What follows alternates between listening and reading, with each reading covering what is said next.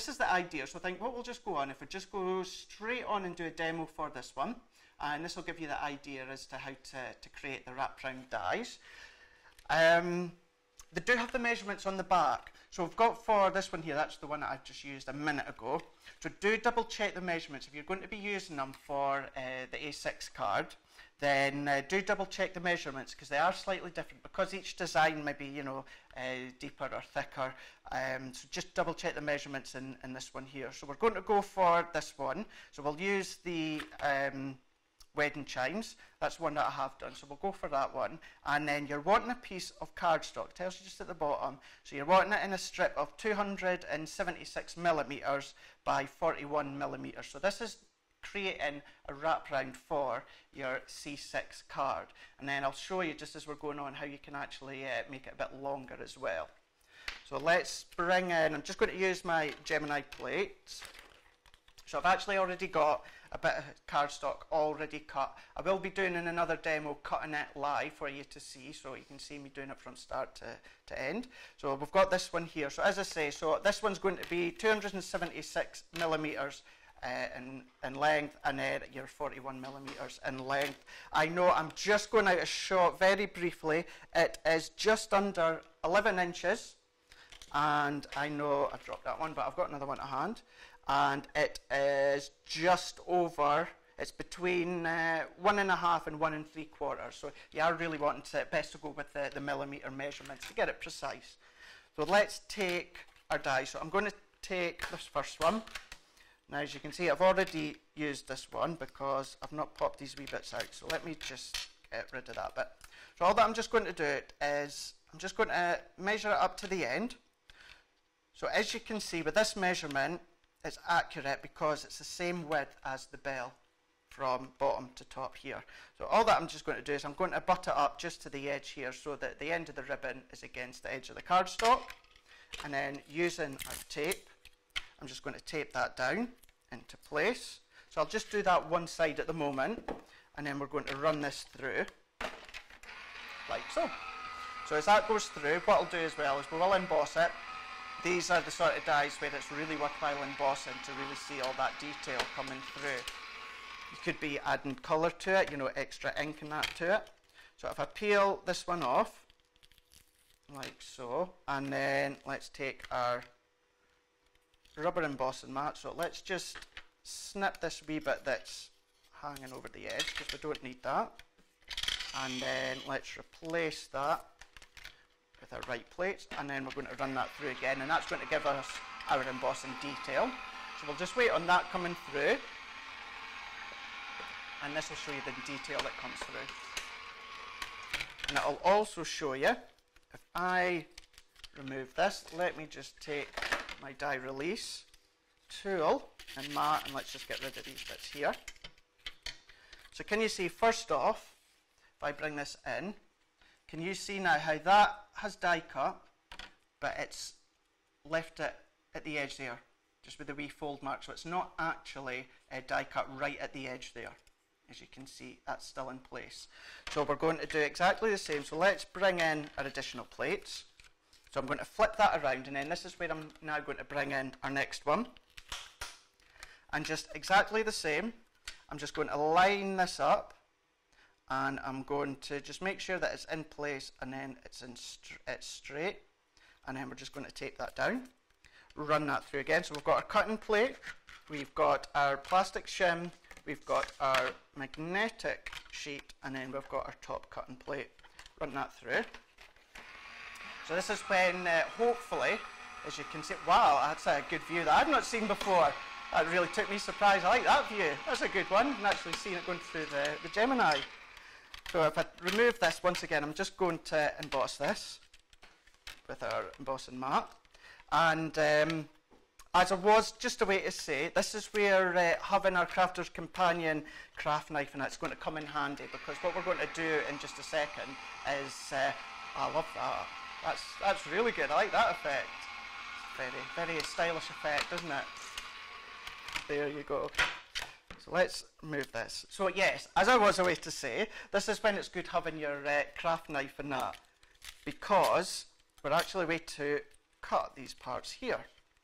So again, if I remove this bit just so that you can see, I'll bring that into view. So all that I'm going to do is if I take my ruler, now all that I'm going to do, I'll show you, there's uh, a couple of wee ridges just in these bits here. I'm going to show you what, uh, what you could do with them shortly. So I'm just taking my craft knife. Now all that I'm going to do is I'm just, from where that cut ends, obviously I'm going to join it up to that next one. So I'm just going to use the ruler and I'm just going to run all the way down just to get rid of that bit. And I know the one thing I didn't show you was uh, what it looks like embossed. So we shall do that just in a second. So all that I'm doing again is I'm just joining these up. And that, I'll give you your width. There you go. So I know at the moment it's like, it's a bit strange, isn't it? So what we're going to do then is, uh, this is just the way that I've uh, done it, is I've just folded it over as it was. So if I just slot them in, like so, so you can see that's some, hopefully you can see slotted in place. And then I just know, just when it comes to this bit here, all I'm going to do is just fold that over at the edge. And same with this bit here, you know, ideally you'd be using your scoring tool, but just for uh, speed and Facebook Live, I'm just doing it by hand. And then that gives you your reband. So if I bring in my cardstock, so if I take that away, and then if I slot this into place and bring that in, and I'm just going to pull that down, just watch you don't get caught on the wee die cut corners, just pull that in like so, and then once that's in, you're just straighten it, and then there is your reband to go around. So let's just pull that into place. So that now gives you your band that goes around your card.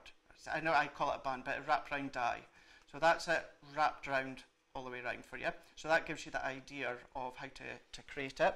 What you could do is if we take this one off, actually I don't need to take that one off just yet, let's show you what these wee ridges uh, can help for, what they can do. So let's just move this out the way at the moment and we'll go for, I think, something a bit different. Let's have a look. Uh, actually, we'll, we'll, let's do the cross. We'll do the cross. Let's have a look. So let's move that into place.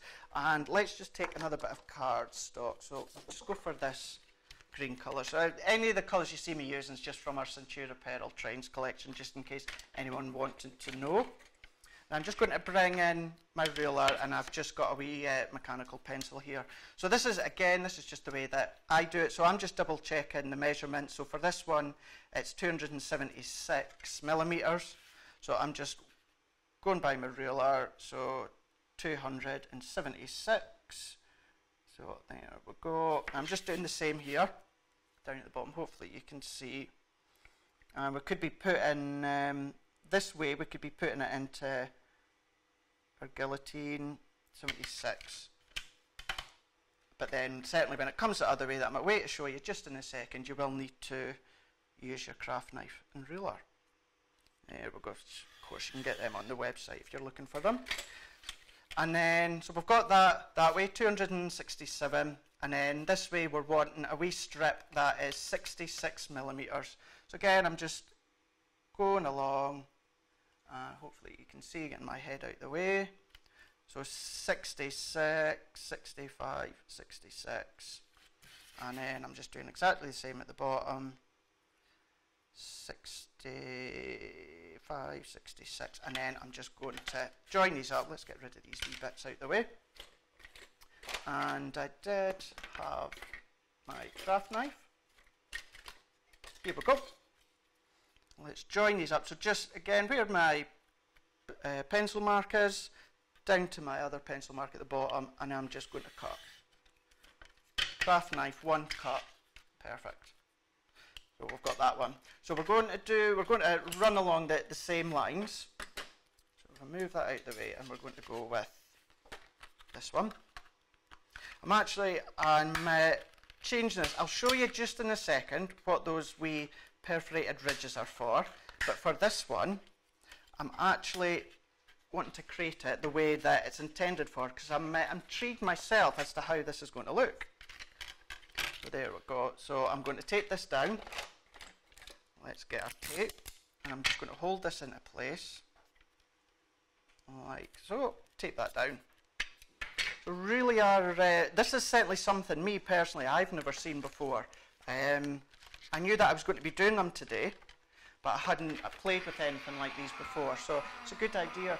Even if I'm thinking, what I'm thinking, what I'm thinking is, um, you know, like napkin ring holders, you know, for uh, celebration tables, Christmas tables, anything like that.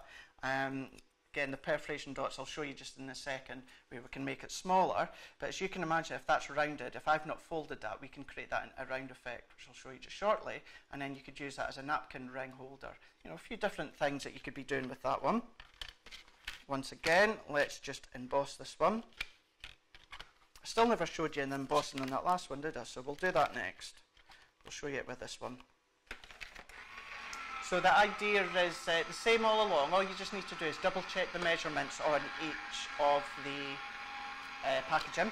It's all there on the back for you. You just want to double check and make sure you've got the right size. You could be cutting them in batch.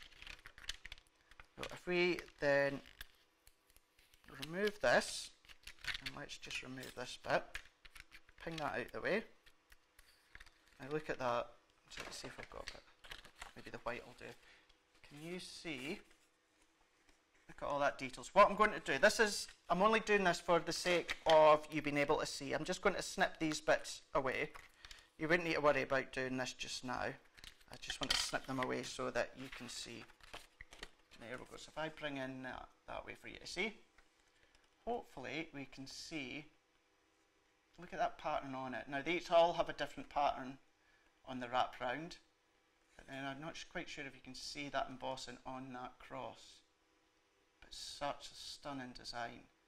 You could be putting a strip of cardstock behind that, cut another one yourself, and uh, put a strip behind it. You could be adding colour to it. Um, you could be cut, creating a mark for it. Obviously, it will make it a bit thicker, but you know it'll still uh, have the colour coming through. So let's do the next one again. So the opposite die, and remembering to flip my plates each time. Just going to tape this down. And let's see if we can get that married up.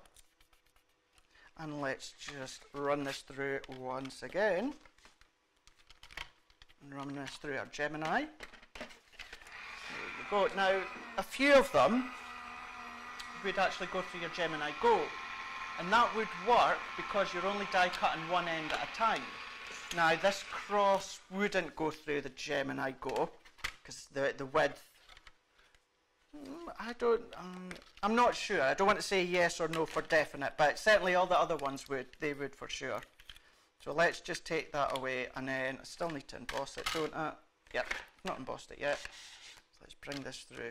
So just exactly what I was saying earlier, it really is worthwhile embossing these dies. Some dies you can get away with not embossing, but these one, the, de the detail that comes through really does uh, make it stand out and pop even more.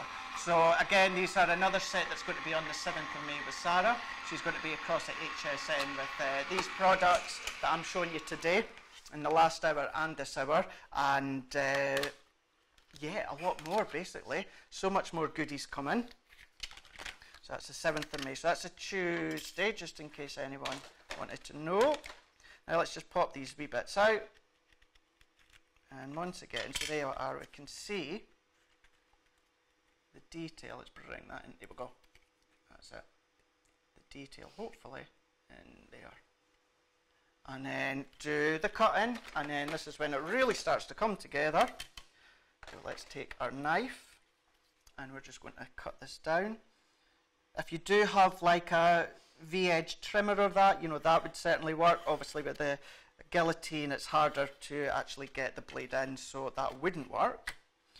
But why use that when we've got a craft knife? They work just as well, just as good. So let's just marry this one up again, and then cut. Then all that I'm going to do, so if I just fold this over, so hopefully you can see, so if I do it this way, so there's two wee slots, like so. And what we're just going to do is fold it over. So again, you would be using um, your uh, score tool or that to make it more accurate in that. I'm just doing it so that you can see. So there we go. So if I use that one that I've just done, again, if I just bring in this card blank that I've already done and pre-cut, so it's just uh, C6, which is half at A5, just in case anyone wonders. So there we go. So we've got that one there. I think, if I'm correct in thinking, let me just see. Yeah, just here. And I think this one's a bit smaller. So that's the right size there. There you go. Perfect. Look at that one. So you've got that one there. So there's your wrap round die. So if I bring that up for you to see let's bring that one up. There you go. So you've got your wrap round die like so and that's what creates the cross now again this is where you could if you wanted just with these wee elements here I'm not obviously going to do it because this would be a bit time consuming but these parts here with the cross, you could be sticking another bit of cardstock behind it. You know, if you're if you like fussy cutting like I do, then you could be cutting round that, so then you've got the colour coming through. Again, you could uh, put a bit of white cardstock at the back, trim round, and then you could paper piece colour back in, even when it comes to these bits there. So there really is uh, a variety of different different things that you could do. What we could also do again, just to show you, is if we what we could do is layer this on. And I'm just layering this on just as a guide so hopefully that you can see. And then I'm just going to use my pencil. And all that I'm going to do is let's, I'm just going to put a wee mark just there. And then this time we can bring our guillotine. And I'm just going to trim where I've done that mark. So this is just this is now me showing you something else, something different that you can do with the, certainly with the backing of them. And then once again, all that I'm going to do this time, I'm just basically creating a map for the back of your wrapping die. So once again, pop this in, and then we can die cut this. Of course, we could have put this straight on and just freehand cut it. I do like to to do freehand cutting. I quite enjoy doing that, creating my own decoupage and that. I find it really therapeutic. So let's just, on the back here, just get a bit of glue going. I'm just going to put a wee bit onto my hand just so that I can get the, the flow going. And I'm just going to tap that on just so that we can get the spread out. Like so. So I'm just going to spread that out, tap that out, just so I'm getting a bit of coverage. And then all that I'm just going to do so hopefully you can see it, yep, I'm just putting a wee band just on the back there. Now again, you know, if you want to make it even easier, you could just put a long strip right along the back there. Now, yeah, that would make it a bit thicker, but it would still work just when it comes to folding it. So then there you go. So you've got colour behind actual strip. So you just don't need to use them just the way that they are. And then this is what I mean, if this was just white cardstock, then this is where you could be colouring it with any of your tri-blend pens or your aqua pens or that, or uh, even just do your paper piece and that. So variety of different ways that you can do to change it. So if I just slot that back together, so then there we go, pop that into the card blank. That gives you the idea as to the wraparound dies. So let's bring that in for you to see. There you go. So it just gives you an idea, different bit of an idea for you to see.